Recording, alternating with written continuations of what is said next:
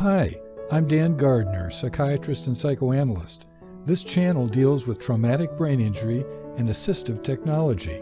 I hope you find the videos helpful.